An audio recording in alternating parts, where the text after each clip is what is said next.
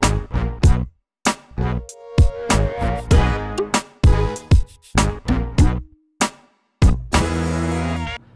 Hi everybody, it's Thomas here from Thomas Fitzgerald Photography and today I have a quick tip for you on Capture One and what I want to do is show you how to do dust and spot removal. So there's a couple of different ways you can go about doing this and uh, one of the things I've seen a lot of people um, give tutorials and, and so forth on is to do it by using a healing layer.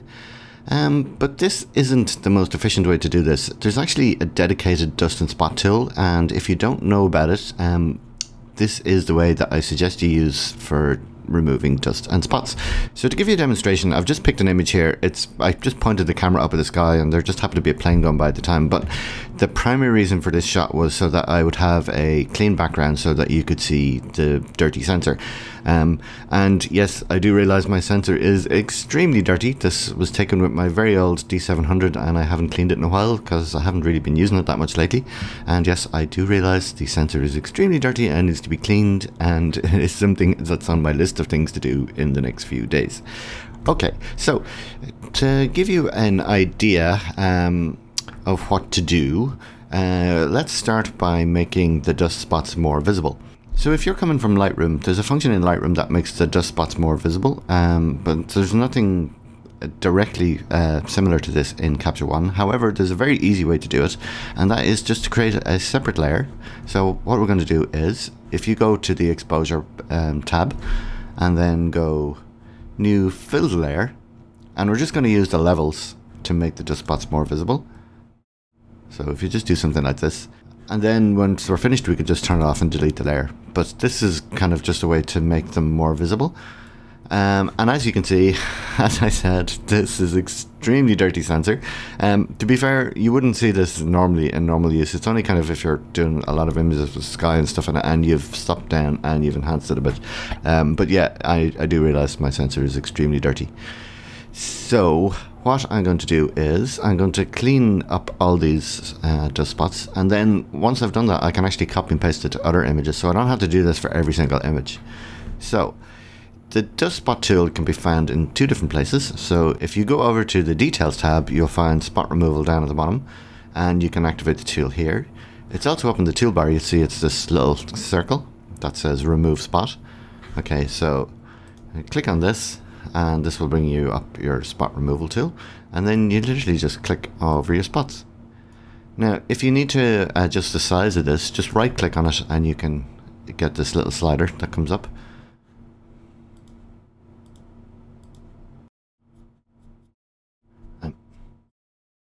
So as you can see, I have quite a lot of dust on my sensor, and this might take a little while, so I'm just going to speed all this up.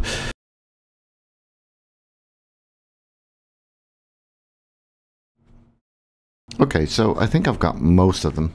Um, if at any point you need to change or move one, you can just select it and you can drag it. So you can move it around like this. Um, you can also increase the size of it just by dragging on it. And if you want to delete one, so say for example we put one, actually that is another spot. So say I have one here and I want to delete that, you uh, literally just select it and then hit the delete key. Oh, and there's another spot. Okay, so once you have that all done, I can turn off my uh, visualization layer. So there you go. And to get out of the um, spot removal mode, just click on a different tool. So I'll go back to the pan tool. Okay, so there you can see all our spots are gone. And if we can do a before and after you can see before and after. Now that includes some other edits I did as well. So once I have that done uh, if I want to copy that to another image um, what I can do is if I go down here to the spot removal panel and you want this little double arrow key so just click on that and this brings up the adjustments clipboard. And we just want to copy spots because that's all I've used uh, the dust, I'm not 100% sure what the difference is. It just it uses a different algorithm and seems to be a bit more effective for larger um, or more kind of irregular um, shaped spots. So uh, I just want to copy the spots, so I just hit copy. Okay, so that copies it to the clipboard. So then I can go to another image.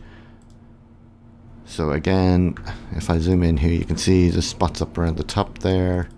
And again, if I did another layer, so let me just do a new fill there and we'll do the levels on this.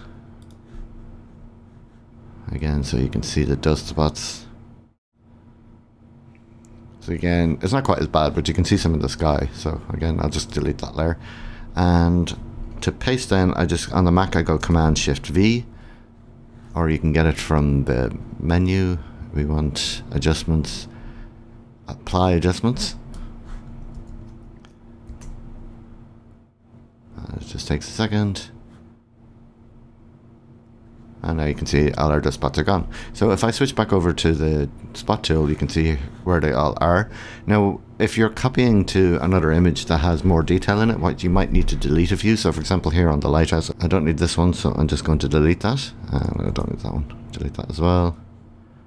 And this one's doing a kind of a bit funky, so just delete that. I don't need that either.